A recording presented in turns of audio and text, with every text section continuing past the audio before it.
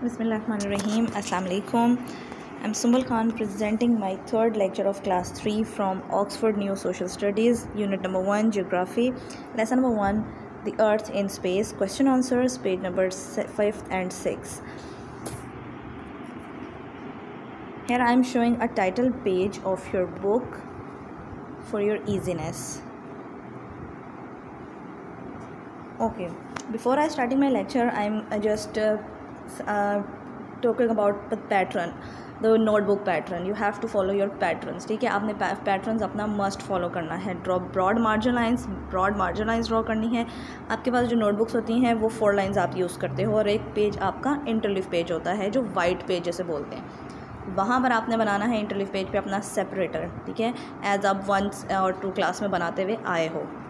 सो so, आपको पता है आपने सेपरेटर कैसे बनाना है. Use your pencils don't use markers और एनीथिंग एल्स ठीक है? Just use your pencils broad margin lines draw करने हैं और आपने नीट एंड क्लीन राइटिंग में प्रॉपरली लेसन नंबर वन लिखना है the earth in space white line जो आपकी होती है, उस पर आपने नहीं लिखना होता just use your four lines okay broad margin आपका कितना होना चाहिए? Look at your notebook page top of the page monogram आपका लाइट स्कूल का बना हुआ होगा, उस मोनोग्राम तक आपने जो है, वो उतना ब्रॉड मार्जिन ड्रॉ करना है. एंड जब आप राइटिंग करोगे मस्ट uh, आपने जो है ना वन फिंगर गैप देना है ठीक है?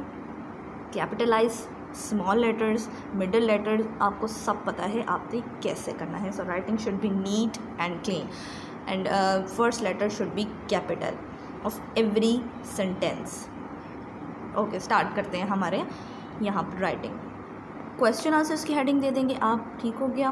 क्वेश्चन नंबर वन आपका जो रेड मार्जिन होता है रेड मार्जिन से बाहर आपने लिखना है question number one what do we find in space if you have remembered the last lecture of us हमारा लास्ट लेक्चर था about the earth in space उसमें क्या पढ़ा था हमने? स्पेस और अर्थ के बारे में earth is planet solar system earth जो है वो सूरज के इर्द गिर्द राउंड करता है. अर्थ किससे बना हुआ है? सूरज क्या है? चाँद क्या है? Land and forms of course हमने रीड आउट किया था.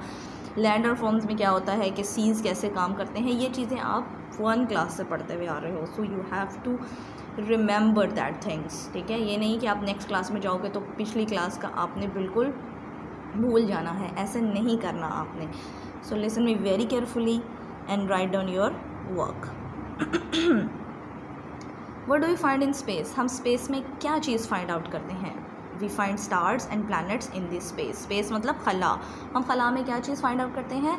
हम वहाँ पर स्पेस में हमें क्या चीज़ मिलती है? प्लानट्स मिलते हैं स्टार्स मिलते हैं वहाँ पर।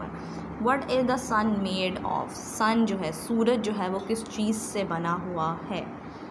The sun is made of very hot gases sun जो है, वो बहुत हॉट गैसेस से मिलकर बना हुआ है. As you remember we have learn this in the reading हमारे जो क्वेश्चन आंसर्स होते हैं, वो हमारे जो आंसर्स हैं, वो हमारे रीडिंग में से ही आते हैं. इसलिए हमें बार बार आपको बोलती हूँ you have to concentrate on your reading very much important, ठीक है? जब तक आपको रीडिंग समझ में नहीं आएगी, आप क्वेश्चन आंसर्स नहीं कर सकते हो।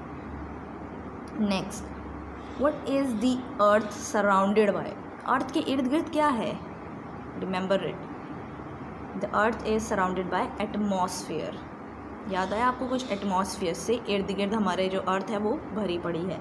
Does the earth stay in one place क्या अर्थ एक जगह पर रुकी हुई होती है? नो no, नहीं। The earth doesn't stay in one place earth जो है वो एक जगह पर नहीं रुकी हुई होती because earth is rounding and revolving towards sun ठीक है? इर्द गिर्द उसके घूमती रहती है।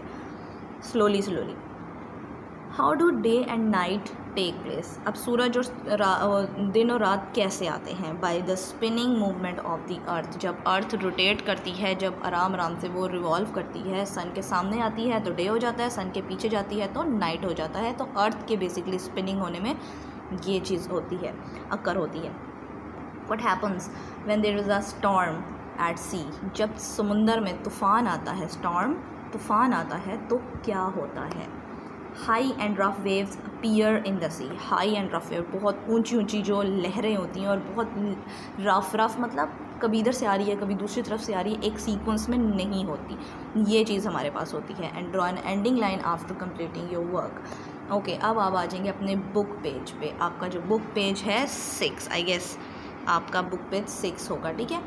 अपनी रीडिंग का जो आपका अगला पेज आ जाता है, वहाँ पर आप आ जाओगे वर्क पेज पे। वर्क पेज हमने करना है, ये आपका क्लास वर्क हो जाएगा। ग्लॉसरी या as you have done in the previous classes ठीक है? आप प्रीवियस क्लासेस में भी ये वर्क पेजेस करके आ चुके हुए हो सो आपको आइडिया है ये किस तरह से सॉर्ट आउट करते हैं। Use pencils on your books again I repeating don't use highlighters markers and anything else just use your pencils and writing should be neat and clean इस पर भी प्रॉपरली आप डेटर्स मैंशन करेंगे। जैसे आप करते हैं, ठीक है? हमने यहाँ पर क्या करना है make your own glossary by finding the new words these are these the words from your reading you have to find out the words in from the reading आपको रीडिंग पढ़ी हुई हो, आप ये वर्ड्स सॉर्ट आउट कर सकते हैं। The new words from the lesson and writing them next their correct meanings इनके आगे उन्होंने कहा करेक्ट मीनिंग्स इनके लिखें कि ये क्या है? स्टेटमेंट है? हमने बताना ये स्टेटमेंट किससे रिलेट करती है?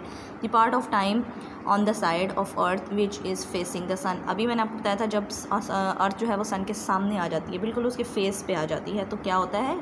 दिन हो जाता है डे आ जाता है। The planet where we live हम कहाँ, कौन से प्लानट में रहते हैं? अर्थ में रहते हैं। E first first letter should be capital of every sentence अच्छा जी नेक्स्ट है हमारे पास a natural satellite of the earth earth की नेचुरल सैटेलाइट जहाँ से अर्थ से को सैटेलाइट के थ्रू सारा कुछ है, वो मैनेज करती है, वो क्या है?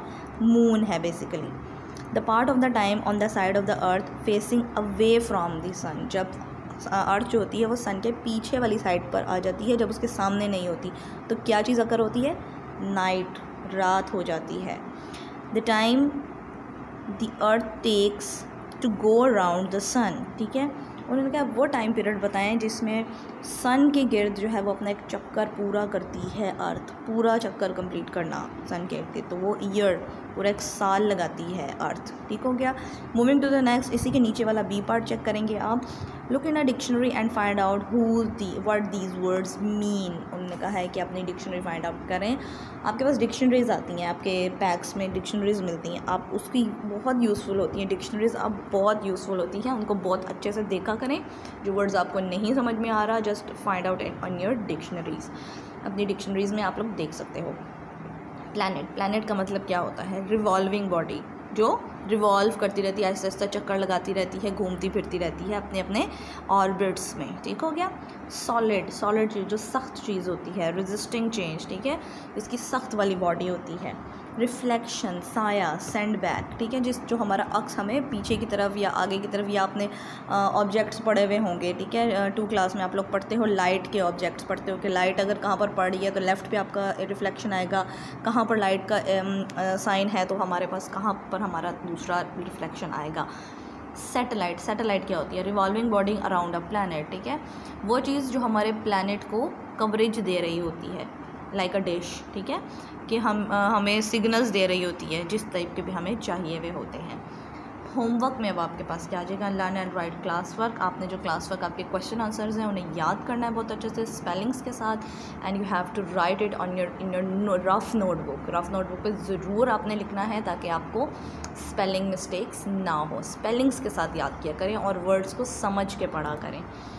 इसके अलावा आपका होमवर्क एक और जाएगा and also draw solar system on your notebooks plus level at आपने सोलर सिस्टम आपका जो आज का हमारा टॉपिक था द अर्थ इन स्पेस, उसके जो इंटरलीफ पेज वाइट पेज होगा, उस वाइट पेज पे आपने सोलर सिस्टम पेंसिल से ड्रॉ करना है अच्छा सा पेंसिल कलर उस पर करना है और उसको लेबल भी करना है कि ये सन है, ये अर्थ है, ये वाला ये प्लानट है, ये सोलर सिस्टम है हमारा। ठीक हो गया?